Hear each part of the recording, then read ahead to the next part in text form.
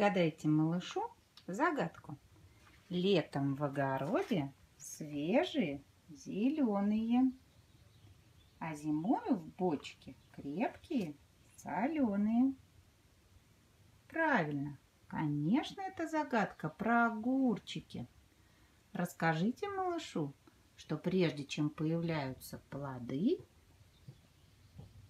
огурчики цветут желтыми красивыми цветочками.